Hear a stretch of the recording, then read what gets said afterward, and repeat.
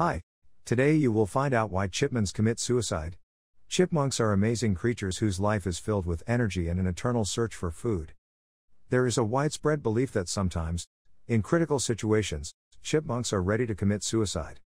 The opinion is supplemented by the stories of eyewitnesses who saw the immobilized body of animals on the branches of trees. How are things really and is it true? This representative of the fauna lives in cedar deciduous forests. Our continent is inhabited exclusively by the Siberian chipmunk, which is also called Asian. The animal is wild, has tenacious legs, as well as soft, beautiful hair. In length, the animal does not exceed 17 centimeters. The chipmunks are very thoughtful. In their huts, there are two rooms, one designed as a bedroom and the other as a storage room.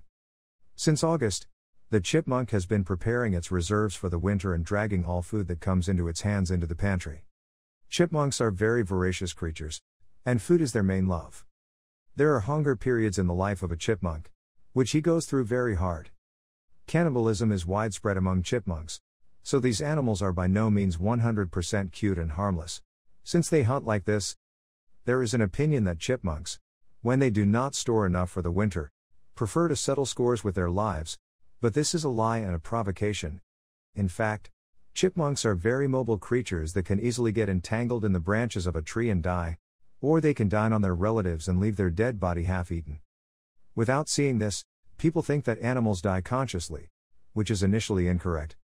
The chipmunk has a very strong self preservation instinct, which simply will not give him the opportunity to commit suicide, unless, of course, his death turns out to be just an accident which does not depend on the animal at all.